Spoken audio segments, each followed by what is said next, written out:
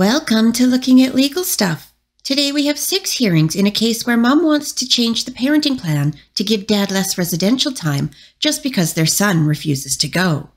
Dad wants mom held in contempt for intentionally withholding the child and involving their son in the court process. Let's see what the commissioner thinks. All right, uh, Mr. Sorensen, can you hear me? Yeah, Okay.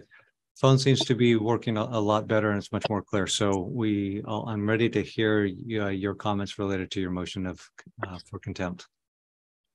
Your Honor, I'm here today to hold Ms. Fike in contempt and regain my residential schedule with my son. As you can see from the filed statements, what I have filed and asking for. The parenting plan was not obeyed by the mother and the violations are as follows. Did not follow the residential schedule in section eight, paragraph B. I was denied visitation on six twenty-five, six twenty-six, and seven seven. Ms. Fike disparaged the parent myself in front of the child, which occurred on six twenty-five pickup day, which violates section fourteen, paragraph restrictions in the parenting plan, where she discussed adult issue matters, badmouthed me and my wife, and slandered me, used profanity towards me, refused my visitation, and kicked me off her property in front of our son.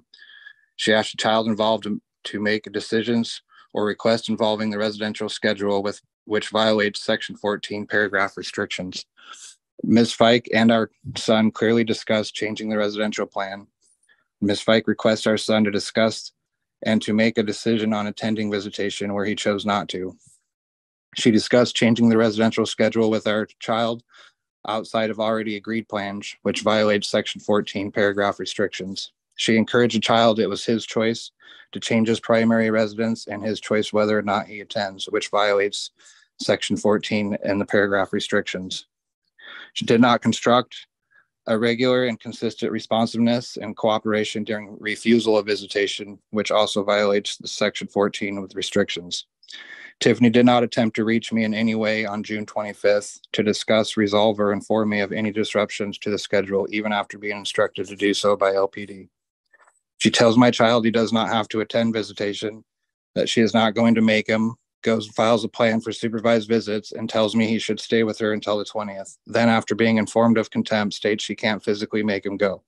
That contradicts all her claims and she that she is following the parenting plan and keeping him from me. Ms. Fike did not notify me prior to pickup to inform me of Christopher's refusal. She had hours to do so and did not. She also did not discuss any resolutions with me, asked me for to get help Christopher to, to, to attend, did not ask the police to enforce her help, did not ask me to attend a conversation at pickup time. Instead, she had Christopher contact me, inform me he was not attending visitation four hours before visitation was to occur. She had plenty of time to contact me during the four hours before pickup time to occur and didn't. I attempted to contact Miss Fike and she denied both phone calls, which puts our child in decision making. I had no choice but to contact LPD for help. LPD then contacted Miss Fike when she answered for them, and she was instructed to follow the parenting plan and to make sure my son came home and was also instructed to contact me. Neither one occurred. Miss Fike never made contact with me. After being informed by Christopher he was not to attend visitation and speaking with LPD, I attempted to pick Christopher up that evening. I was met at the door with Tiffany trying to facilitate an ambush against me in front of my son and Coach Christopher, not once telling Christopher he is to attend visitation and go with me or to get in the car, which should have been the only issue we were discussing. Instead, she was allowing my son to tell me he is not attending and he shouldn't have to, with his mother in agreement. That is, that she's not going to make him. Christopher was disrespect me and defying my wishes to get in the car. She also instructed me to read a letter Christopher wrote to the courts, not to me, but to the courts.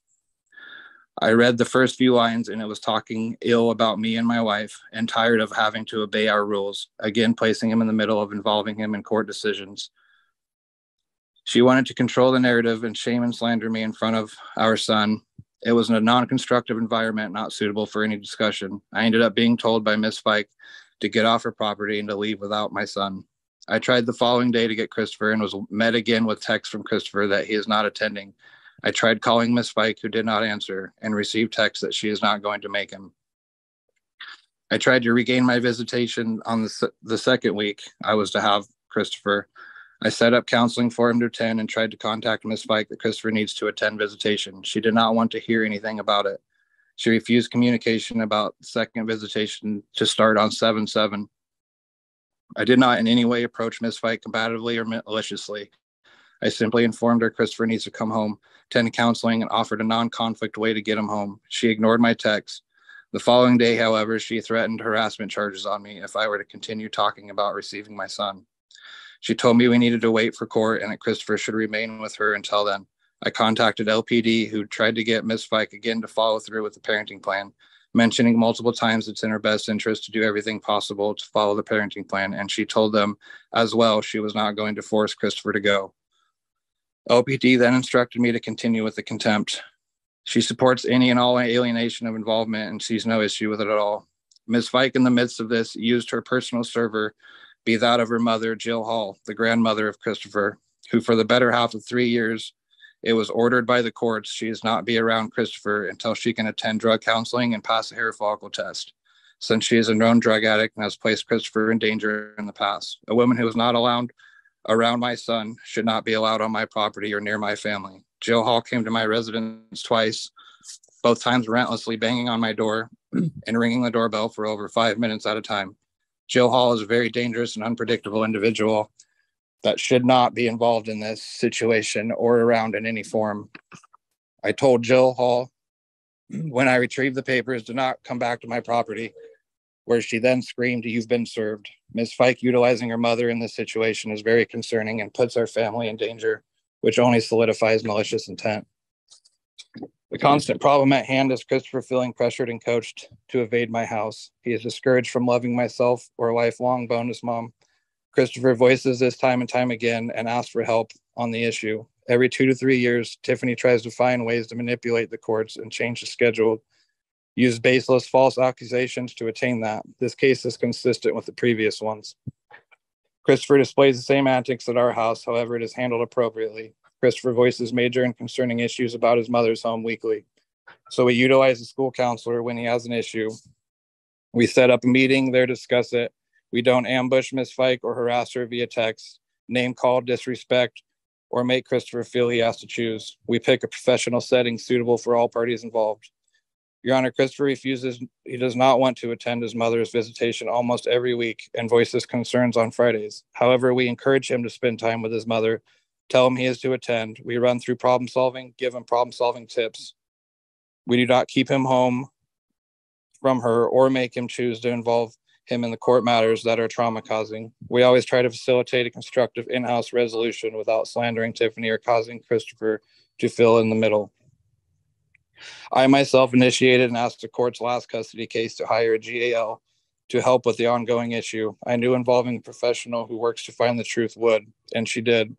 Rhonda Larson did an amazing job. She is also available to call on as she is still on our case.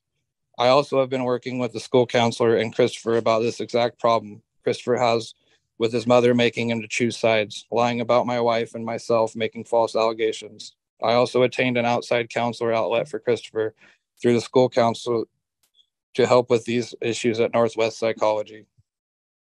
I cannot comprehend how Miss Fike thinks complete annihilation of our family is a good plan. She feels the need to constantly destroy me, my wife's relationship, and family. She uses Christopher in order to do so, not realizing she's destroying him in the process.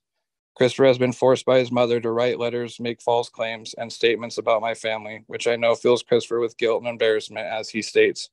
A time my son should have been spending with myself, attending youth group, Christ for the Court basketball camp, collecting his volunteer hours for high school. We have scheduled on our time, attending his job he acquired, family vacations, two of which were canceled due to these circumstances, missing a sister. Instead, he spent a better portion of almost a month away from me with no communication at all under the impression he is prepared to take his father to court. Stressed, sad, and unequivocally involved in adult matters no child should, my son has never gone three days without talking to me or seven days without seeing me in his entire life. While I've been dedicated to following the instructions of the court and parenting plan, Ms. Fike has been creating an environment of paranoia and fear for Christopher taking him away from his family and discouraged disregarding the instructions set forth by the courts and law enforcement. I'm asking the courts to bring my son home immediately for the lost time to be awarded, where he needs to attend counseling, get back into his schedule he lost, and attend his youth group, prepare for school coming up. He desperately thrives on this schedule that has been robbed. I'd like Ms. Fike held accountable so this situation is to never occur again. Thank you. Okay, thank you, Mr. Sorensen. All right, Ms. Fike, I'll hear your response in related, in relation to the motion for contempt, please. Yes. So, like you said, this is my third attempt to change the parenting plan. Well, three years ago, my son threatened to run away. He's threatened to run away from his dad's house multiple times due to mental and emotional abuse from his dad and stepmom, and more so physical, as you know, Mariah has pushed Christopher before. Um, the reason why I've put this motion into place because Sunday, June 25th, we got home from my sister's house. It was my nephew's birthday party. He was to go to his dad's at 8 p.m. At 6 p.m. that night, he comes to me or calls me into his room and says, Mom, what would happen if I refused to go to my dad? Is he muted? Um, what would happen if my mom or if I refused to go to my dad's house? I told them, I'm not sure what would happen, but why don't you want to go to your dad's? Like I said, this was 6 p.m. It was two hours before he would have went to his dad's house. I'm talking to him about it, why he doesn't want to go to his dad's. He says the same reason for years. He said he was in, in the middle of writing a letter to the courts. I did not persuade him. This was this came out of nowhere that he refused and wants to write a letter to the courts. I did I submit that letter? I did not submit that letter. He wanted his dad to read it because everything on there pinpoints the majority of what's been going on and how he feels about it. My son is mentally and emotionally abused over there daily. He's never wanted to go to his dad's house. He has blatantly said it every single week, but this is the first time he's actually refused to go. I told him I'm not going to make him, but that he needs to go. I feel like he does. But in the back of my mind, from what's been happening over the years, that nobody's been listening. Like I feel like this, like I said in my de- declaration, this is his final cry for help.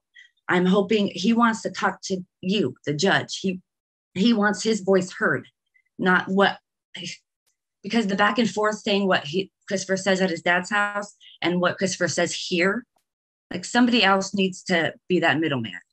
And as of counseling, I didn't hear about him putting him into counseling until let's say I didn't get served with his papers till the 4th of July. That's when I read that he had an appointment at Northwest Psychological, which we both should have been informed on that as well. And then the next day on July 5th, Chris or Joseph texted me and said that Christopher will be going to that appointment, that he made this appointment, this and that. Well, I already uh, also made him an appointment at Core Health. He has an appointment on August 1st at 1 p.m. Christopher filled out the intake. Christopher filled out all the questionnaires as it's his counseling session, and he turned it in. So, my question is why or how did he get that appointment with psychological without telling or talking to Christopher about or having Christopher fill out the child intake? Because that's what that other courthouse says. You know, it's for him since he's over the age of 13. Teens have a little bit more rights than parents know of. And I said, okay, that makes more sense.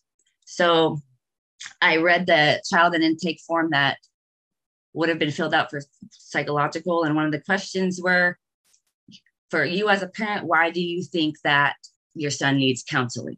Well, I'm not sure what they put on that piece of paper, but my son is refusing to go to his dad's house.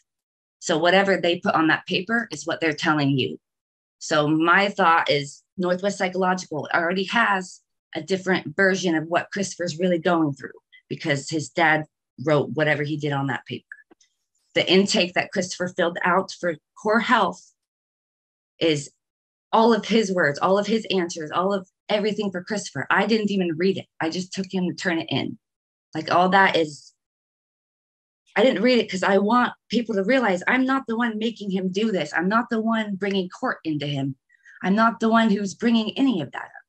Christopher is pretty much fed up. And what happened at the airport after his, um, sorry, his DC trip with his stepmom, I think that might have been the last straw because uh, it's it's just it's just too much. I'm really hoping that somebody's actually going to listen. It's not me holding Christopher away from his dad. It's Christopher refusing to go. As my part, yes, I should force him. I'm not going to physically force my son to go somewhere where he's not safe or doesn't feel safe until somebody else says so, which I feel counseling is going to make that tremendous leap. And or talking to the judge or getting that input because Christopher is suffering. He's almost 15 years old. We've been going back and forth to court since he was little because of everything Christopher has told me. And everything I've written is what my son tells me. I believe him 100%. 100%. Regardless of what people say that he's embellishing stories to get the parents to believe what they want to believe. That is ridiculous because he's still refusing to go. With Joe saying that they haven't been any contact, Christopher has a phone. He hasn't even tried to contact his son to even ask him why he doesn't want to go. He still hasn't asked him why. He could have put that effort into talking to his son too, because he has a phone. But regardless, I've never ignored his text messages. All the police says their advice is is to go with the parenting plan, and I told them I was doing that as best as I can. 6 p.m. is when Christopher brought that up to me about refusing to go to his dad's. I get a call from LPD by 6:20 because Christopher also says, "Oh, and, and I text my dad I wasn't going." I never told him to text his dad. He did that all on his own. 6:20, no, six around that time, Joe calls me. I didn't answer because I was in the middle of a discussion with my son trying to figure out why he doesn't want to go because he had till 8 p.m. to go. So I'm trying to talk to my son. So then he calls the police and says, I'm not responding. So the police call and I explain to the officer, yes, that I didn't answer his phone call because I'm in the middle of talking to my son about why he doesn't want to go to his dad's house. So that shouldn't be put on me because I didn't answer his phone call. I'm trying to get down to the bottom of it. And he just, nobody's listening. I don't know. When he came over after, you know, chris Christopher saying not going, Joe shows up around 7.55 that evening, demanding Christopher to come out. Christopher sitting on the chair. He would not come out of the house. I'm like, Christopher, you need to get up. Christopher, you need to come talk to your dad. It took my husband telling him, you know, Christopher, you need to get up. Go talk to your dad. He got up, went to the door, did want Christopher to read that, or Joseph to read that letter that he did write. He did admit to the police that he only read the first sentence or two and nothing was slandering or anything about anybody. He didn't even get to read the letter. And with my mother, who's, yes, it's been three years since she was three years ago, Joe and Mariah brought my mother up in our custody case for some weird reason, because my son and my mom are inseparable, were inseparable. Um, my thought is they brought my mom up into my court case because they didn't have anything to go against me. Long story short, Judge Basher ordered for her not to see my son in person. They can still contact FaceTime and talk on the phone until she does what she was supposed to do, which I did submit the um, hair follicle tests and stuff too. I'm hoping to address that at this court date as well. Um, my mother has always been the person who serves for me. It's that has nothing to do with my malicious intent because I don't have anybody else willing to go over there because of how they are. And my mom's the only one willing to do it, then I need to serve. And I'm not going to pay 40 bucks for a sheriff to do it because that's ridiculous. Um, my mom banging on their door five, 10 minutes at a time, that's because you're not answering and she's trying to serve you papers long story short, everybody is trying to pinpoint all this on me when I hope people open their eyes and realize my son is, is in not a very good place. He's very sad. He's depressed. He's wants people to listen. He's tired of nobody hearing his story.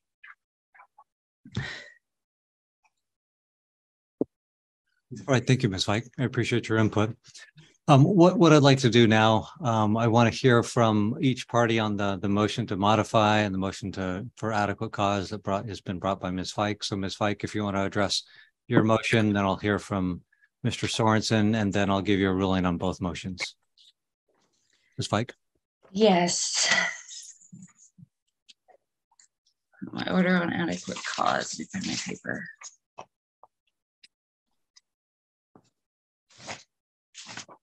has with my son refusing visitation at his father's home he's tired of nobody listening um, he's scared he uses the word scared he doesn't want to go to his father's house um, I feel like either limited time or supervised visitation needs to happen until a counselor or somebody can actually open up their mind to listen to an actual 14 year old.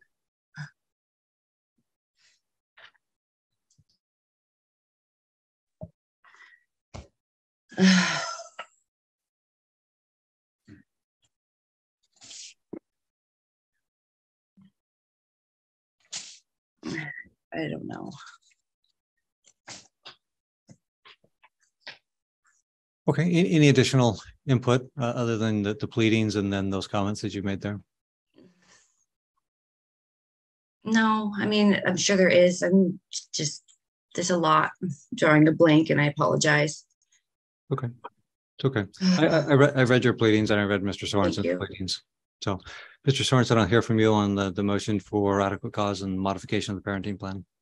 Um, well, cons- as right now, I am um in the middle of trying to seek counsel for that.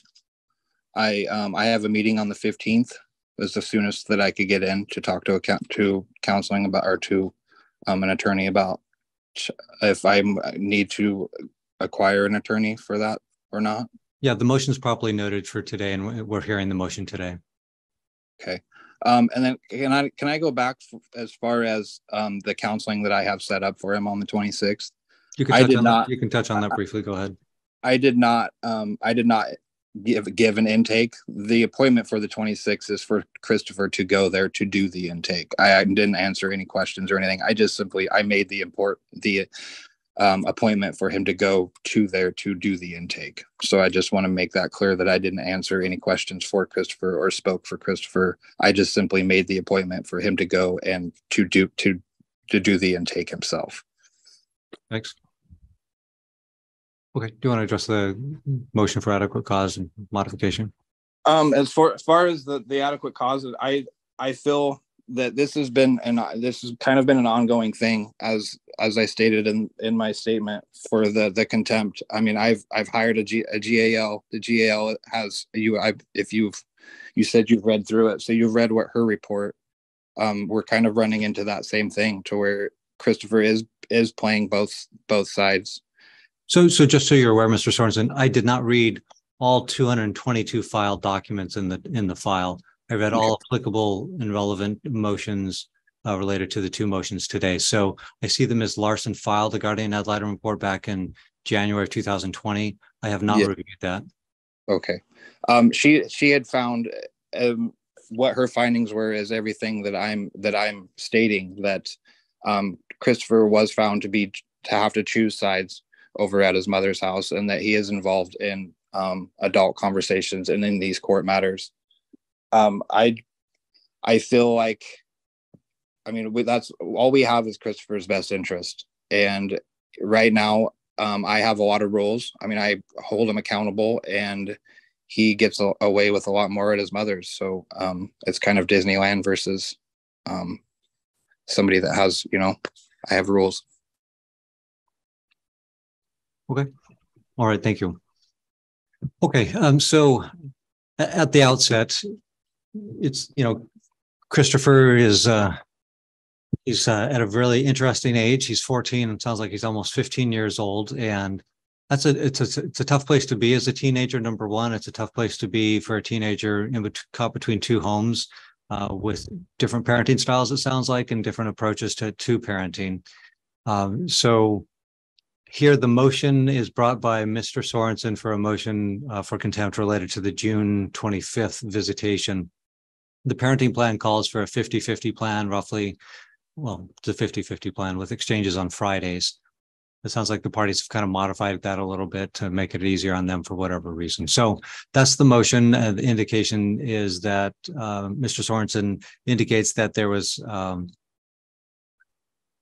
that there was a refusal of Christopher to come to the visit. There's an indication by Ms. Fike that Christopher had has some thoughts about uh, what's happening, what he wants and what he doesn't want.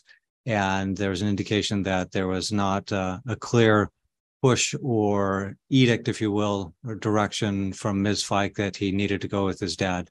Uh, her her focus tended to be more on on listening to what he had to say. Uh, dad's focusing to be more on there's a parenting plan and we need to uh, follow that. So these situations are, are challenging because both parties have a lot of a lot to say, uh, and I think that was noted by the the variety of pleadings that were filed by the parties. And there's a lot of information that needs to be uh, heard. So the the issue is that there's a parenting plan. The parenting plan says it's a 50-50 plan. Life is not static. Children change, parents change, and and this the court system is kind of slow slow to change we're not the most nimble nimble of organizations and so when there's a change there's a feeling of immediacy we need to make a change quickly uh, it's and you know things may be, may have been brewing for some time with christopher maybe may have been thinking about some things for a long time but it kind of came to head on this june 25th date the difficult part is is accommodating that and accommodating the the parenting plan. There's kind of a natural tension there. So what needs to happen is that there's a, a court order. The court order controls. Uh, the parties have been unable to come to an agreement themselves, and so they've turned it over to a third party, the court, uh, to resolve and guide the issue. So the court said uh, those parenting plan ne- needs to be followed, and the parents are to uh, make sure that that it happens. And 15 year olds certainly you can't pick up a 15 year old and or 14 year old and pick them up and put them in a car. Not going to happen and, and would be inadvisable. There's other ways to persuade and encourage. Um, and so I will make a finding of contempt. Uh, I think there was a, a clear indication, whether it was stated explicitly, I think it was the implicit message was clear. I'm not forcing you. Uh, you, don't have to go. Uh, I don't think those words were specifically said, but I think the message came across clearly to Christopher uh, that he did not need to go. And it was more important that his uh, father engage with him, listen to him.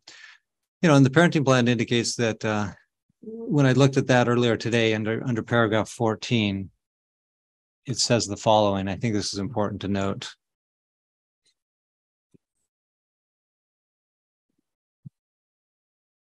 Where it states,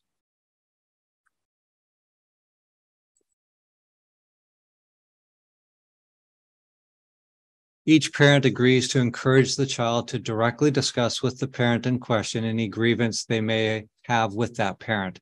I think that's uh, that was appropriate. Ms. Fike indicated that Christopher had written a letter and he had wanted to share that with his his dad, and it sounded like she encouraged uh, Mr. Sorensen to speak to his son about that issue. Uh, it, it, also indicates it's the intent of both parties to encourage a direct child-parent bond of communication. Uh, so that's there. So uh, what I'm going to do, I'm going to impose a $100 civil penalty that that contempt can be purged by following the parenting plan for six months or until there's a change in visitation. So I also think, and, and both parties recognize this, that uh, Christopher needs uh, support, some support through counseling. Sounds like both parties are cognizant of that and working towards that end. That's encouraging and good. Um, and both parents can provide uh, input to uh, the the counselor for the benefit of the child. So there's two counselors. Um, I don't know if I need to rule on which one's gonna, which counselor is gonna go, who, who Christopher is going to uh, attend with. A lot of counselors, you know, it, it's it's a personality fit, and sometimes it's you meet with one counselor and it's just it's not a good fit. So I'm going to leave it to the parties to figure out which counselor, but there he goes to, but he needs to be seen by a counselor. He needs to have that outlet. I'm also, uh, I'm also going to order this because I think both both parents here have a lot of information to share, and there's a lot bottled up that's uh, just needs to come out. Uh, so I think uh, I'm going to require both Mr. F- uh, Sorensen and Ms. Fike to engage themselves with the counselor for at least three sessions to discuss how your actions uh, contribute to the situation. It's going to be a self focus, self reflective uh, to better determine uh, how you are contributing to, to the issue. Um, I'm also going to require, I'm, I'm going to appoint a guardian ad litem. Uh, so the guardian ad litem can uh, interview uh, and speak with Christopher so his voice can be heard. And then both parents can have their opportunity to, to be heard also that guardian ad litem's duty is simply that to to address the issue uh, of a 14 almost 15 year old boy as far as residence res, residential schedule that's that's the the sole focus um, and to make clear that the uh, christopher is not allowed to make the decision of where he goes he's required to go as the parenting plan requires and he should be disavowed disavowed of that false notion. It's gonna it's gonna be a lot slower than a 14 year old child wants things to happen. Uh, but we're going to get input from the guardian ad litem. He'll have an out, output with the counselor. Both parents will have opportunity to be do some self reflection under the uh, guidance of a counselor to see how they're contributing to to the issue because it doesn't happen in a vacuum. Um, so, and sometimes it's hard to see that without the professional help. So that's the, the contempt motion. As far as the motion to modify uh, and the motion for adequate cause, I'm, I, i am making a finding that there is not adequate cause at this point. Uh, so I'm denying the motion for adequate cause and denying the motion to modify the parenting plan. So with that said, I'll ask the parties if you have, have any questions or clarifications of the court's ruling. Um, as far as my lost my lost time of the two weeks that I missed out on, is that just just chalk that up as yeah, good question. I, I, I thought about that, and I think under the the current circum circumstances, I'm going to let that ride. I'm not going to order makeup time. I, I, am I am requiring that the parenting plan pick up this Friday at the Friday or, or whatever. It sounds like it was Sunday, maybe what the parties had kind of agreed on. But the the parenting plan, if the parties can't agree, it'll be Friday at 5 p.m. That's when the exchange needs to occur. If the parties had, had been doing a different schedule, you're free to do that, but it has to happen this weekend. Uh, no, um, the, the, the, the exchange needs to occur. Okay. Ms. Fike, do you have any, any questions or points of clarification? No, not at this time. Well, actually, when when will we hear about the guardian ad litem? Yeah, thanks. Um, so I, am going to ask the guardian ad litem to do an accelerated review uh, with a review in 30 days is, is my hope. Uh, and for guardian ad litem, that's a pretty quick turnaround time, and we'll have a hearing in, in, in roughly 30 days. And so let's go ahead and look at the calendar now and see what we have. Yep. Yeah, let me, thank you. Let me take a look at the calendar. One, two, three. Uh, let me ask the parties as far as your schedule on August 24th. Uh, how do your schedules look on August 24th? That's a Thursday at 9 a.m. I'm recovering from back surgery, so I'm pretty pretty free. Okay, Ms. Fike. That's that's fine with me as well. Okay, we'll set it for that day, and then um, the guardian ad litem. It was mentioned Ms. Larson, and was she? Do the parties know if she was formally discharged from the case? He told no. us that this was her last case and that she was retiring. So I have no idea she's she was never discharged but i don't believe that she is um, doing child litem work still. But she is still technically i think when i the last when i reached out to her she said that she is still on the on the case. She yeah i don't think she's been formally discharged and i think she's no longer on the, uh, guardian ad litem what we call the registry so she's not accepting new cases. So um, Madam Clerk here has a list of the next three available guardian ad litems. Each party has the opportunity to strike or get rid of one of the guardian ad litem that have been presented. So we'll get, the, I'll give you that list and then each of you can tell me what your thoughts are as far as uh, what your preferences are as far as striking. Oh, the review, uh, 24th of August. Next three names are Twyla Corrie. Okay, Twyla Corrie. Keith Lawrence. Keith Lawrence. And Heather Kahl. And Heather last name? Kahl. It's K-A-H-L and Heather Kahl.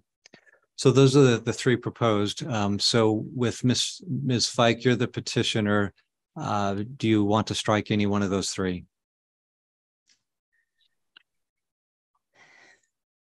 I mean, no, maybe the second one. Keith Lawrence? Yeah. Okay, we'll strike him. And then um, Mr. Sorensen, any of the remaining two, uh, Twyla Corrie or Heather Kahl? Um, I don't know any of these, so no, not, really. Yeah, it's it's kind of operating in a vacuum. It's difficult.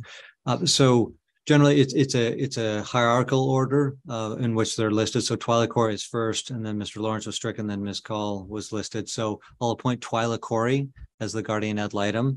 Um, she will be reaching out to the parties, and it's important that the parties respond to her promptly. I, I think it's that there's a brief packet that she'll have you fill out uh, but the sooner you can get in touch with her, the better, uh, so we can uh, uh move this along.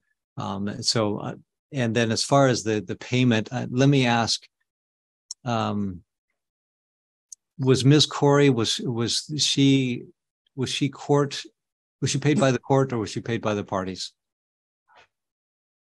Um, Londa, I, I, I think I, I had to pay. And We then I each paid believe- half. Each paid half? Okay, But I believe that hers, hers was waived. No, it was not, okay. but regardless. Okay, so, so what I'll do, uh, it'll be a 50-50 split as far as the payment. Um, and then, uh, so she'll get that order, she'll be in cut, contact with both parties. And you'll have opportunity to chime in and, and uh, Christopher will have opportunity to chime in. And I will uh, draft up an order, uh, memorializing today's, uh, rulings on the motions. And, uh, get that out to the parties. Uh, do you both have access to Odyssey? Yeah. I think so, yeah. Okay, that's where you can uh, access the case file and look at all the pleadings that have been filed. So I'll, I'll file it there and the parties are welcome to, to look in there and, and take a look of, of the order. And can you um spell Twyla's name first and Yeah. last, please? Yeah. Yeah, Twyla is T W Y L L A. And Corrie, last name is C O R R I E. Perfect, thank you. Um, let me check with the parties before we end uh, today's session. Mr. Sorensen, do you have any final items? I don't believe so, Your Honor. Okay, Ms. Fike, any final items? No, Okay. All right, I appreciate both parties' time and input, uh, and uh, that will conclude today's hearing, and then we'll see everybody on August twenty-fourth at nine AM for the Guardian ad litem report related to a residential schedule. Okay, all right, thank you. Thank you. Okay, that marks All right. I think that takes us to the Hall and Sorensen matter. This is nineteen three zero zero three nine three zero eight. All right, and Ms. Corrie, are you on that matter? I am. All right, very good. Okay, um, so let's see, I have a contempt filed by Mr. Sorensen. So I'm going to address the, um, I'm going to have you go ahead and make argument regarding the contempt, sir, and then, um, and then we'll talk about the adequate cause, um, next. So, um, go ahead. I have re- had an opportunity to read all the documents in this case. Um, I appreciate that you both filed documents and materials. Um, sir, why don't you tell me what you want me to know about the contempt? Um, the parenting plan, section eight, part B has been broken. Um, since she's withholding our child, rejecting visitation after Christopher fled from my house. Um, to Miss Fike's sisters during our parenting time. She is in violation of the week on, week off schedule. She refused to bring him home to me or comply with police officers to bring him to me or to cooperate as a parent in any way to communicate, discuss our current situation, as you can see from the text that I, I had filed. Um, section 14 under restrictions was also violated, where she discussed the residential schedule with our son outside of already agreed upon parenting plan. She discouraged our son to not attend and led him to believe it should be his choice. He came under the impression his mother hates the ruling set forth by Judge Evans. Um, and that she is not the one making him come to my house, that it was a stranger making these choices for him. It is my understanding that Section 14 exists because Christopher benefits if he is under the impression that both parents are on the same page with respect to the current plan. He should be under the impression that the courts are looking out for what is best for him. It would benefit transition day to see both parents be supportive of one another in front of him. The opposite happened by not setting a positive example of the transition. I believe it set stage for our son to flee. Our child was not in any way in danger, harmed, neglected, or suffering. After our son sneaking out, she had no legal right to keep him away from me. Christopher's transi- transition to my house was well planned, including therapy sessions, church, a basketball camp, and re- re- unification counseling. He had everything in place for a smooth transition, but uh, it was it was stolen from him. So, when is the last time you had your son in your care? The twenty second Of June? August. Okay. Wait, hold on. So it's August now. So, Yeah, June. Sorry, I'm Okay. sorry. okay. So June 22nd, and you haven't had your son in your care since then. No. Okay. Have you had phone contact with him since then? Um, I've tried to reach out to him um, via text and I, I haven't received anything from him back. Okay. Thank you. Um, so I'm going to handle these one at a time. Um, I might make my decision all at the end, but I want to kind of do one operation at a time. Um, Ms. Corrie, tell me about your involvement in this case. Um, so I see old orders in this case, or old GAL reports, but I don't see a current and I don't see an order appointing you. So tell me how you entered the case. So I was appointed, um, I believe, about three weeks ago. I okay. believe it was by Judge Evans, and there have been it's been kind of a comedy of errors i have not yet gotten an order appointing okay um, so uh, but because there was a very quick turnaround and uh, judge evans was looking for um, an initial review next week in this mm-hmm. case mm-hmm. i went ahead and got started and sent things, sent intakes out to the parties. Had they filled them out? I've interviewed both of the parties so far, but um, because I don't have that order appointing yet, I'm just kind of stuck at this point. Okay, very good. That that makes perfect sense to me. Um, so I appreciate that. Have you been able to talk with the child of the case? Not yet. I um, because it's um, outside of the school year, and I like to speak with the children in a new, more neutral place than one of the homes. I have been. Uh, I, I believe I have a place to do that secured, so I'll be setting that up soon. Okay, very good. I appreciate that. All right, Ms. Hall, um, what would you like to say about the contempt? I am Miss Fike. I've been married over a year now. Sorry about the paperwork, but my last name is Fike. Okay. Um, so when you name yourself on the screen, go ahead and name yourself Ms. Fike instead of Ms. Hall. And that's certainly helpful to the court, giving you the correct uh, name. Okay. I didn't see my name on here at all. okay. Um, so on June 25th, my son refused to go to his father's house due to mental and emotional issues that we've been going on for years as of the other court papers. Um, we were we had a court date July 20th. Um, that was when uh, Miss Corrie was appointed to us to, to figure out why he refused to go to his house and figure out what the issues really are. Judge Evans said she he appointed Twyla for Christopher's voice. He ordered Christopher to go to his dad's July 21st that next day on Friday. So he's seen his son the end of July, not June. Um, Christopher went to his dad's. Well, his dad showed up. Christopher took off down the street. His dad went after him. They ended up leaving together after they talked.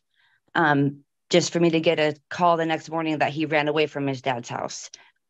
Um, talking to the cops, they never told me to bring him back. They said they understood and to keep him safe. So I don't know what he's meaning what the cops said to him, but what the conversations with the cops for with me were totally different and they were aware of the court they're aware of the guardian ad litem so for me to try to keep my son safe and why he's trying to why he's refusing and running away from his father's house. I want those things to be addressed. I'm not withholding christopher. I'm not keeping him from his dad. If he goes there again what if he runs away again? So I, i'm trying to think of down the line no i'm not withholding him at all. Christopher refused. Christopher ran away from his father's house. And I feel like knowing all the stuff that's been going on for years, and I can't force him to go, especially he's six foot two. I'm not going to physically force my child to go. Yes, he needs, we need to figure out why he's not wanting to go and people to listen, but I am definitely not withholding my son from his father. That's the whole reason why Miss Corrie is here to, you know, I can't wait for her to talk to him. So, does your son have a cell phone? He does. And he has it currently? Yes. Has he been in the last month um, visiting with friends? Yes. Um, going places? Mostly my sisters because I work and him and his cousin Ashton are best friends. Uh, this whole summer, he's been to four different friends' houses on my time, four times this whole entire summer. So, yes, he has. What school district are you in? He was starting his freshman year this year. All right. Thank you. He had his first uh, counseling appointment with Core Health on August 1st. He had his second one um, the, on the 15th, just two days ago, with Core Health as well. So he is in Did you provide the did you provide the father with the information regarding the dates and times of the appointments? No, but they were verbally said in court what time they were. Did you provide the father with the name of the counselor? No, because I just found out the name of the counselor just last week because we did the intake with a lady named Linda, and we I just met Hannah, which her name is Hannah from Core Health. I don't know her last name. Um, on the fifteenth is when we met her. Does your child have a diagnosis? Not yet. No, he's they're setting up another um, counseling for this afternoon and hopefully next week. Okay. How many times have you taken the child in the car and taken him to his father's house since that last July visit? He hasn't he hasn't been to his father's house. Right. I'm asking if you put the child in the car and drove him over to dad's house. No, I have not. Have you dialed up dad on the phone, handed the phone to child, and said, You need to talk to dad? No. Okay. All right.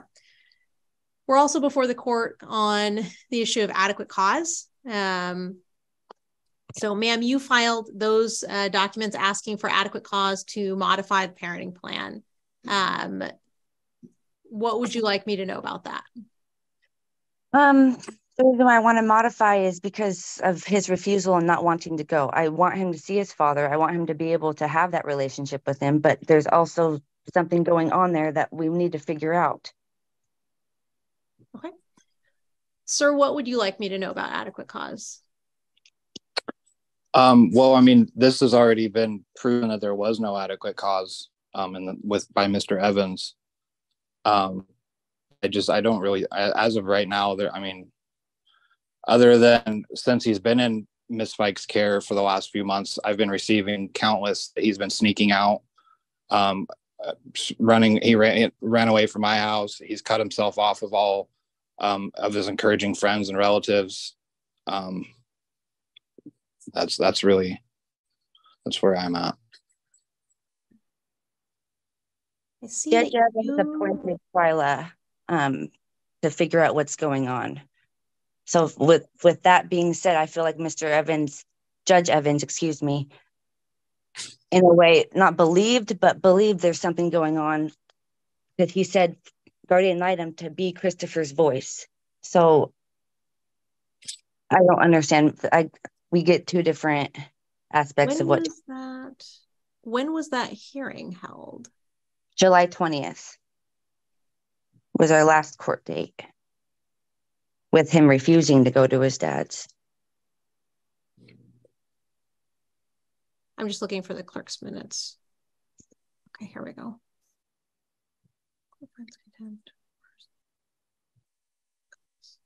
So did the court just put it on today for review? Because it sounds like the court previously found contempt.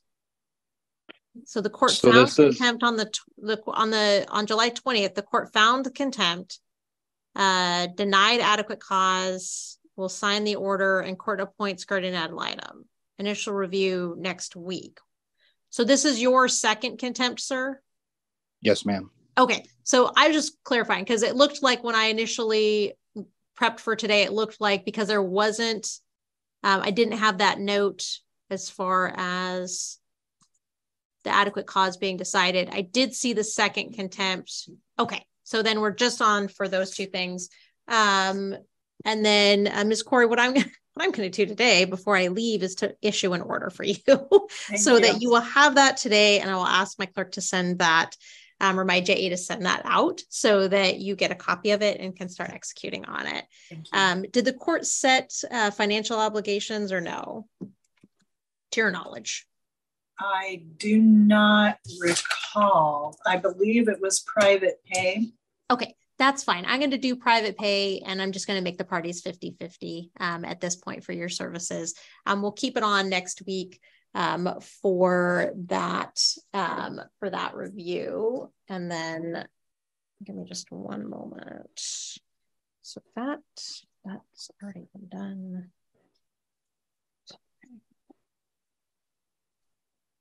Okay. And so, sir, I just want to clarify when is the last time that you saw your son? Was so July? Yes, ma'am. When he was he was ordered to come to my house for the the fall the Friday, which um he didn't want to give me any lost time or anything, but we were supposed to resume the the regular parenting plan of week on, week off. And then he fled fled my house that next morning, and then I haven't seen him since. Just one moment.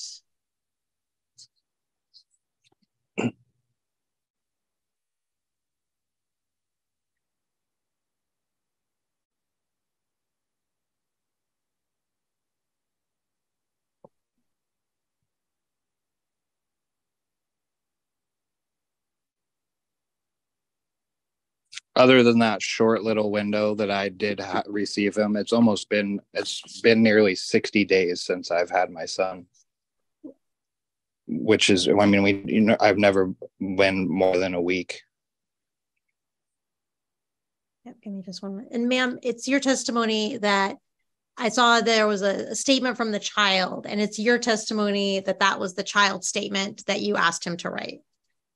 Absolutely not. No on June 25th, Christopher was supposed to go to his dad's at 8 p.m. that night, and he calls me in there a little before six. Says, "Mom, what would happen if I refuse to go to my dad's? I don't want to go. I'm I'm tired of everything." So we talked and uh, talked to him about it and what would happen, and he said, "I'm also writing a letter." He was in the middle of typing that that said letter, and he said he wants me to read it when he's done writing it. So no, I did not make him write. I didn't tell him to write. I didn't. It was a surprise that he was not necessarily a surprise because he's never wanted to go to his dad's, but he's always went. He's never refused. He's never ran away. I feel like there's something going on because nobody's listening. There's something going on over there of why he refused and All why right. he's moving Thank away. You. You've answered my question.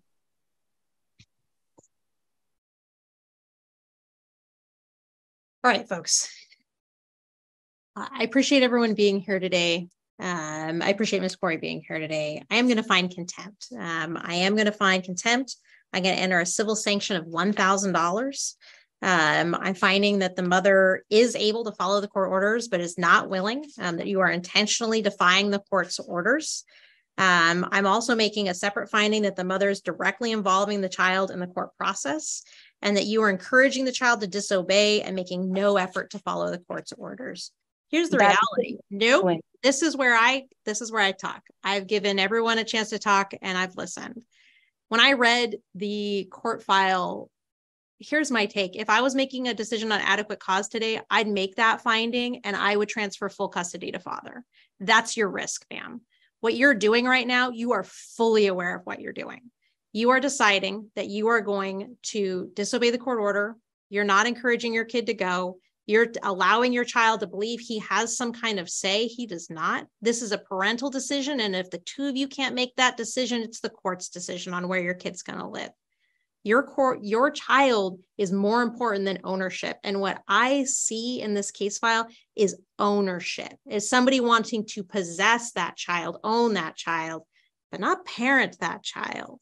Um, and that is a huge concern for the court when I see these nice text messages between child and stepmom, and then you telling kid, you don't even have to answer her. You don't have to go to that sports game. That's ridiculous. A, when you tell a child, especially a young teenager, you don't have to respect that adult. You know what that translates to? I don't have to respect mom. I don't have to respect dad. I don't have to respect my teachers. I don't have to respect the court. I can blow all of that on all those people off. So when you think that you're just telling, oh, you can disrespect kind of stepmom, that's not what's happening. You're telling that child he can disrespect everyone. That is terrible for that child. You have four years left with this young man before he is launching off to adulthood, and you are setting him on a course for disaster because you are setting him up to think that he can just disobey everyone. And that is not how school works. It's not how the world works. And that's going to be a harsh reality for him. When you do those types of things, it is so damaging. And especially when what I see on the other side is folks being loving and caring. Look, teenagers are hard, they are hard work. Um, they are not easy. Sometimes they are just going to be um, disobedient and annoying and frustrating But that's where you as parents come in and you need to step up and say, you have to go to your dad's. It's your dad's time. You're going. And what you're doing right now is he's on his phone, he's playing his little games, he's going to his friends' houses. That all sounds like he gets to do what he wants. And you're teaching him that instead of follow the court order. It's at the end of the day, it's you that are going to pay the penalty for this, not the child. Um, it's you that risks losing all custody of your child. I honestly had notes on whether or not there needed to be a pause in any contact with you, ma'am, before and the child need to be with dad and no contact with you for a period of time. That's how serious I take these orders. That's how serious the court takes orders as far as parenting time.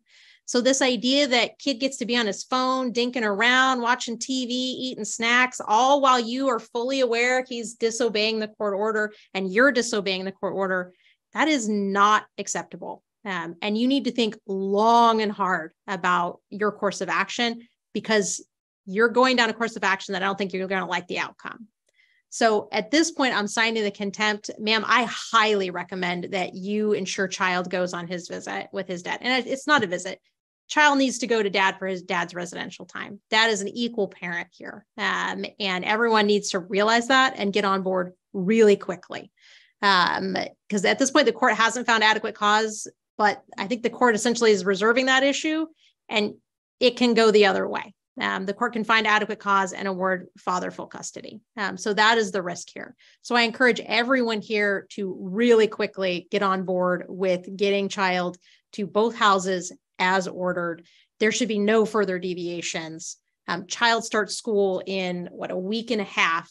Um, the idea that we're going to play this game as child starting his um, high school career is ridiculous. Um, everyone needs to get on board with what the child needs um, and stop sort of playing these games. Um, encourage relationships with both sides.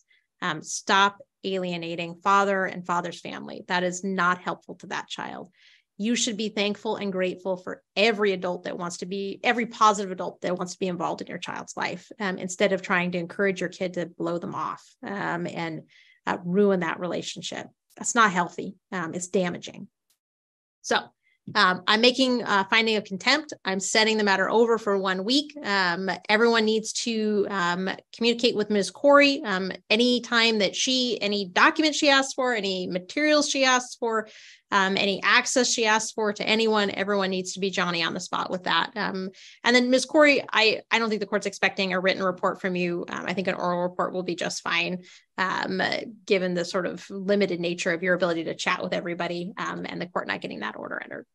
Thank you. All right. Um, so I've made myself very clear. Um, it is my expectation that that young man will be exercising his regular time per the court order. Best of luck to you all. We'll see you here next week. All right, that's going to take us to uh, Hall and Sorensen. And I did see uh, Ms. Corrie on the line. There you are uh, welcome. And then um, do I have Ms. Tiffany Hall? All right. Oh, Tiffany uh, Fike. That's right. Thank you. Uh, and Mr. Sorensen. Yes. I Perfect. I see you there. All right. Ms. Corrie, go ahead. Um, well, I have had the opportunity thus far to meet with both of the parents um, and uh, and the child. Um, I really have no recommendations beyond the original parenting plan at this point. I believe we should move forward with with that in place as it is, um, and uh, go from there. Thank you, Ms. Corrie. I appreciate your report. All right. Um, next, I'm going to turn uh, the time to you, um, Ms. Fike. Um, at this point, um, the Guardian Alliance recommendation is to maintain the current parenting plan, um, at least until she can further her investigation. Um, would you like to speak to that, Ms. Fike? Yeah, I mean, she's that's great that she wants to keep it the same and wants to further this investigation. I feel like that's a great idea for her to continue her investigation. Okay, thank you. Um, Mr. Sorensen, go ahead. Um, I feel the same. Um, the only thing, other thing that I would like to request is maybe if we could apport um, a third third party communication outlet, like my family wizard, or something like that. Um, me and Miss Fike can't seem to um, communicate very well, even via t- text messages. So I think that would be a good outlet for us to to utilize. All right. Uh, Ms. Fike, any opinion on using our Family Wizard or a similar parenting app? I've never had issues with text messages other than him not responding to my text messages. So, I mean, I feel like text messages as well as the Wizard app, I think it'll be the exact same. So, I mean, I, I'm not, I'm not sure. Me just one moment. Uh, Mr. Sorensen, has the child began uh, following the current parenting plan? Yes. Yes, we had a really good week this week. Good. All right. All right. Uh, thanks, folks. I'm glad to hear parenting plans getting back on track um, and the guardian ad litem is getting on, um, uh, getting online. Thank you, Ms. Corrie, for um, being so quick. I know that was a very, very fast turnaround. Uh, so I appreciate you making that effort. Uh, here's what I'm going to order today. So I'm just going to order that the current parenting plan be maintained. Um, that the uh, GAL investigation um, will continue. Um, the parents, I do want you to use our family wizard. Um, you'll both need to log on today. Um, just if you Google our family wizard, you'll be able to find it. You both need to pay your own fee for that. The fee is pretty minimal. Um, it does do some uh, sort of housekeeping functions that can be useful to both of you, um, and it's a good way of sort of managing those communications. Uh, you'll each pay your own fee for that service, um, but again, it's fairly uh, fairly minimal. Um, Ms. Corrie, um, I did set, I believe, a review in that guardian ad litem order. Let me just double check.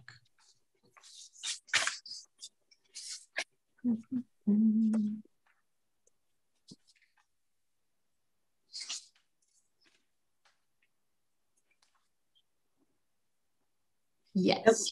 Oh, no, it says to be determined. So I did not set one. So uh, let's do that today. Um, Ms. Corrie, um, when are you looking to be able to complete your investigation?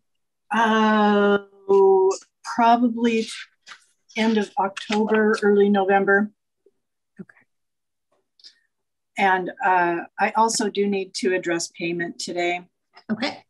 Let's set a date and then we'll address payments. Um, all right. I'm going to say, let's have your report. Um, let's have it ideally no later than November 7th with a review on November 14th. Oh, I'm sorry, not 14th. I'm going to put this the 16th is the Thursday.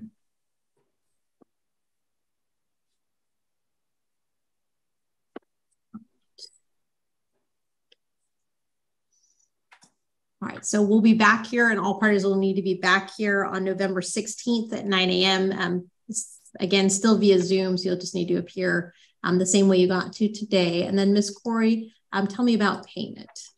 Uh, no payment received as of yet from either party. Both have indicated that um, it's a hardship for them. Okay. So, sir, let's address that with you first. Are you currently employed? Um, I'm currently on um, FMLA. I had back surgery the end of June, so I've been trying to recover from back surgery. I should be getting back to work here hopefully in the next couple weeks or so, but it's been kind of rough off of FMLA. Okay um, and Ms. Fike as to payment of the guardian ad litem?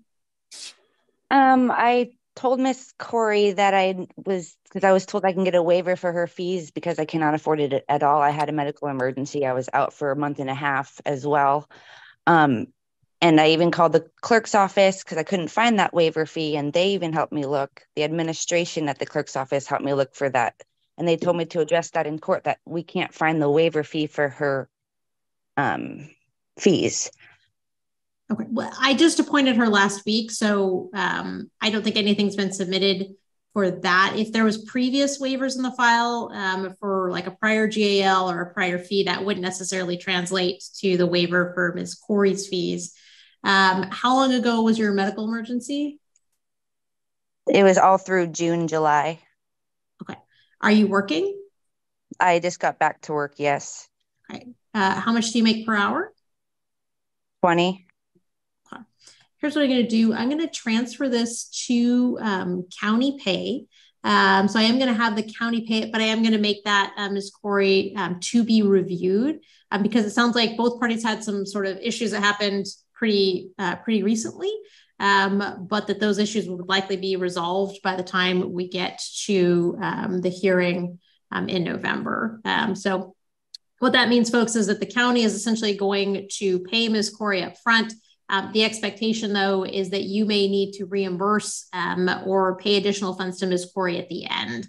Um, so don't assume that that means that you're, you know, sort of don't have any obligation going forward. Um, it's just that the court's going to um, allow payment um, of Ms. Corrie directly from the court initially, and we're going to review that in November. does that make sense to you, Mr. Sorensen? Yes. Uh, and to you, Ms. Fike? Yes, ma'am. All right, very good. Um, so with that, um, anything further on this case, Ms. Corrie? I don't believe so. All right. Uh, for, uh, anything for any other questions from you, Ms. Fike? No, I don't have any more questions. All right. Uh, to you, Mr. Sorensen. No. No. All right. Very good. Uh, thank you both. Um, Actually, and thank you, Ms. Corrie. I'm, I'm so sorry.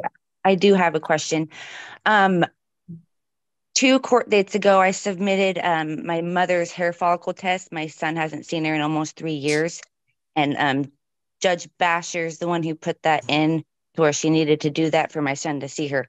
And I wasn't able to say it either court dates to bring it up again, but it was filed. Can my son see his grandmother? Um, that's not before me today. Um, if you want to address that, you have to file a motion. Um, so that's not before me today. Um, you can file a motion um, and then the court can address that. Okay. So is it just any motion? Because I was told just to submit the paperwork for my court date, and that's what I did, and it's never been addressed. I didn't know what motion to file. I can't give you legal advice um, because I'm sitting as uh, as a neutral decision maker, um, so I can't give either party advice on what to do or what to file. Um, so I invite folks to speak to legal aid. Um, you can hire an attorney even just for a consult to get advice. Um, you can look online. Uh, there's lots of options um, for you, but I can't direct you specifically on what to do. Okay. Okay. appreciate that. All right. With that, I am going to sign an order that just reflects uh, my rulings today um, and makes it clear uh, for the next judicial officer when we get here um, in November um, to sort of have a good idea on what's happening. All right. Thank you both. Um, that concludes this matter. Okay. Sounds like it might be on our end. All right. Mr. Sorensen, can you hear me? Yes, sir. And uh, I see a Tiffany Fike. Is that uh, formerly Tiffany Kahl? Yeah, it's Tiffany Fike. Okay. And you can hear me as well? Yes, sir. Yeah. Pardon me. I forgot to mute my phone when I came in. Okay. All right, Mr. Sorensen, this is on your motion. Anything you wish to say? I've read what you submitted. Um, yeah, Tiffany violated the order signed by Honorable Commissioner um, Baldwin at our most recent hearing. Commissioner ordered both Tiffany and me to use our family wizard as a means of communi- communication from now on. After court, she ordered both of us to contact our family wizard and pay our portion of the order. I complied immediately. Tiffany did not comply with the order and later refused. This is Tiffany's third contempt since July. She continues to disregard the court orders as you can see in her most recent declaration, she blatantly disregards the orders of the court, criticizes and devalues Commissioner Baldwin's qualifications and judgment, complains about her present guardian ad litem, Twyla Corrie, tells the court exactly what she will and won't abide by. So you can imagine how she addresses me behind closed doors, which is why the need for the third party communication outlet is vital in making Christopher the priority for the few years we have left. We are all doing our best for Christopher, our current GAL Twyla, the judges and commissioners who have assisted us in the case. We are all working diligently to comply with the court orders to ensure fairness and do what is best for Christopher. I am doing everything in my power and have complied with every order placed and corralled in every way possible. Does not make sense for this case when only one parent is actively working to make Christopher a priority. Tiffany seems to be escalating and creating the worst possible scenarios to impact her son. I just request that the courts help me cement a preventative measure and continuing contempt. Ms. Fike, is there anything you wish to say? Yes. Um, my son is my first priority. My first contempt, my son refused to go to his father's. I tried to get court right away. Of course, court dates are always two to three weeks out. I was held in contempt because my son refused to go to his father's. He was ordered to go. He ran away from his father's house. So we did more paperwork, went back to court. I was held in contempt because, again, they were thinking I was withholding my son when he's the one refusing and ran away from his father's. This last contempt or court date, she asked my opinion on the My Family Wizard app. I declined it. I said, there's no need for an app when we've text messaged this. My son's almost 15. We've been using our phone communication for almost 15 years and it's never been a problem until he addressed it last court date that it is a problem and it's not and i can't i can't afford to pay the guardian ad litem and they already know that and i can't pay to download an app on my phone that does something that i already pay for so i don't feel like i should be held in contempt because for not downloading an app because we communicate just fine during text messages well, from looking at the text messages, it's pretty clear that's not the case. I don't understand that. The text messages look pretty, uh, they escalate quickly and a lot of people get obnoxious, don't you think? I believe that's what I put in my declaration that he was the combative one and I try okay. to communicate and he's always rude to me. Okay. Anything else you want to tell me? No, I think that's it. All right, Mr. Sorensen, anything you want to respond to? Um, as far as the payment, it's it's ninety nine dollars for a year subscription to to the app. All right. So, Ms. Fike, this is real simple. There's an order that says you're to both use the Family Wizard. That's not a suggestion. It's not aspirational. It's a court order and you have to follow it or you're going to be in contempt. That means if when you're in contempt, you either pay money or you do jail time or there's some other sanction. So here's what we're going to do. You're going to get that Our Family Wizard and you're going to get it immediately. I'm going to continue this matter for one week. Uh, next uh, Thursday, that'll be the 28th at nine o'clock. If you've got the family wizard, we'll talk about what kind of fine, if any, is going to be imposed because of your failure to get it so far. If you don't have it, the options are a lot more serious. Is there any part of that you don't understand? No. That will be all. Thank you.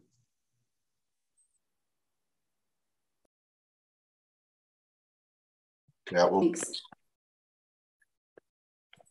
computer program is running very slow. So, ma'am, I put this over today to confirm that you had signed up for the Family Wizard. Has that happened? Yes, it has. And can you confirm that, Mr. Sorensen? Yes, she signed up for it on Tuesday. All right. Thank you. So, ma'am, I want to make sure you understand if there are violations of the order down the road, it's going to cost you money or worse. So, those orders are not suggestions. You understand that? Yes, I do. Okay, then we will leave it there.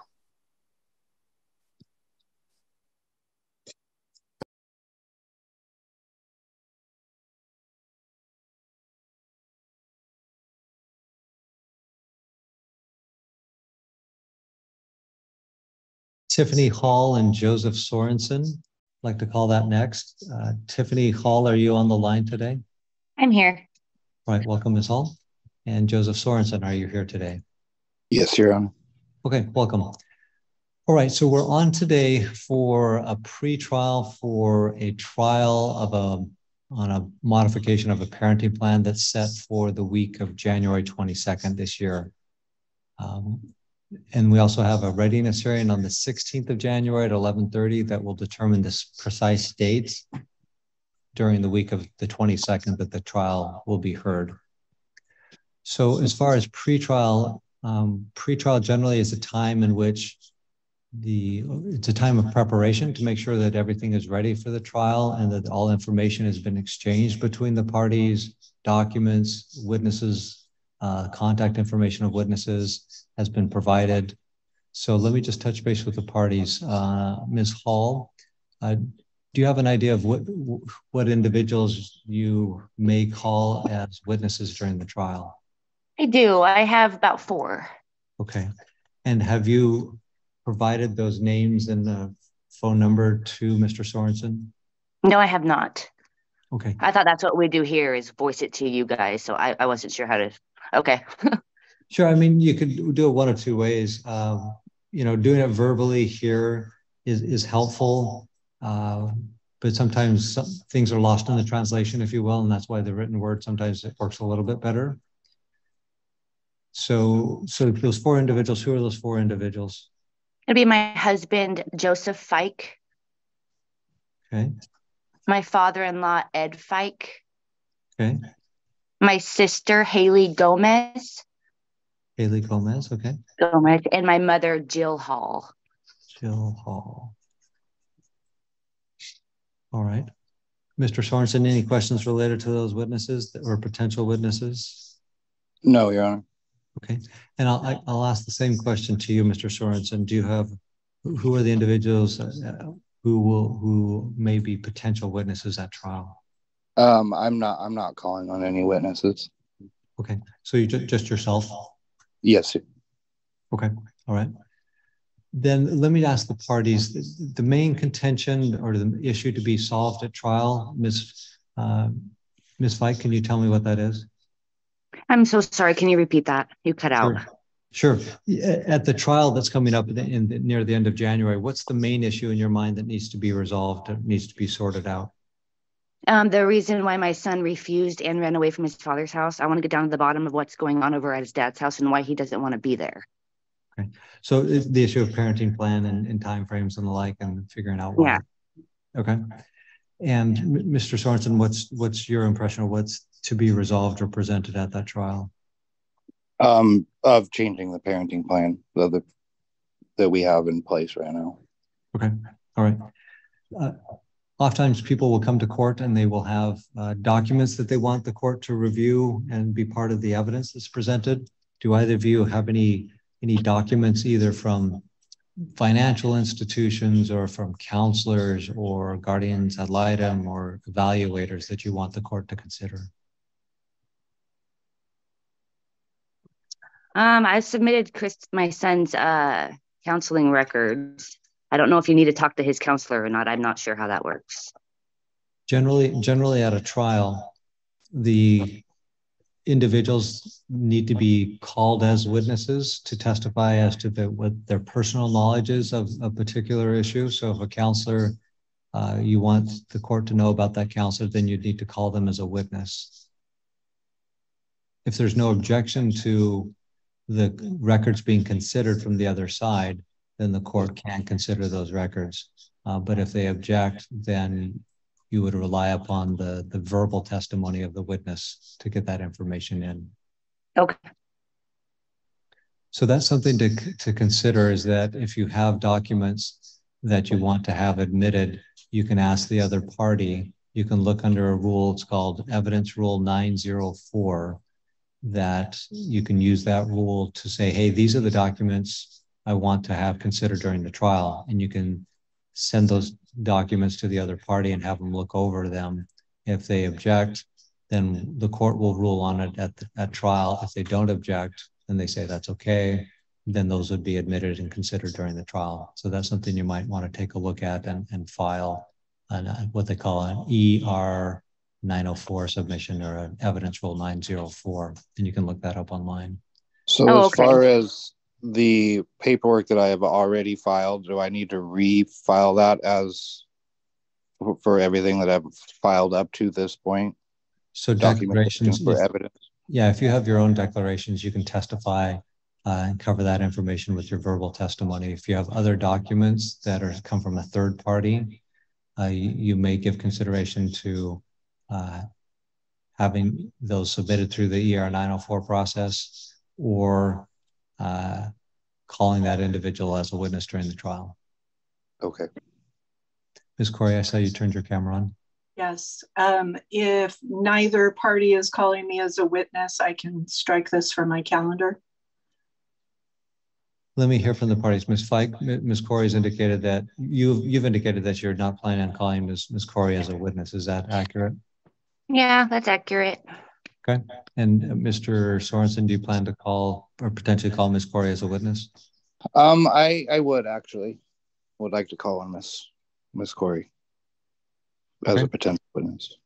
Okay, um, then at this point, I would like to ask for um, my typical fee for trial, and that is two hours trial prep and one hour trial testimony. That's fine. Would you, do, is that an order that you could just briefly uh, submit via email and I could sign off on it? Or is that something I could just do a bench order? A bench order would be fine. Okay, so let me just give myself a, a little note here. And that would be two hours prep time, one hour trial time. And, and what's the rate? 150. Thank you. I'll prepare that order and submit that. Thank you.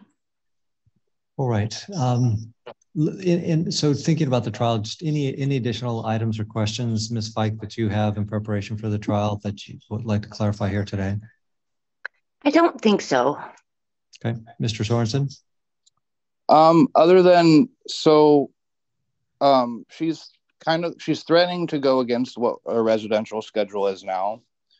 Um, so if I was to file another contempt, it would more likely be granted outside of the trial. Is that something that could be brought into this trial, if that was the case?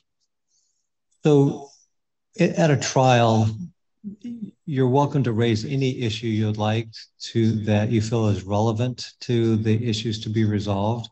The court or the, the judge that's hearing the case uh, may say that's okay, may say that's not okay to bring in uh, alleged contemptuous behavior.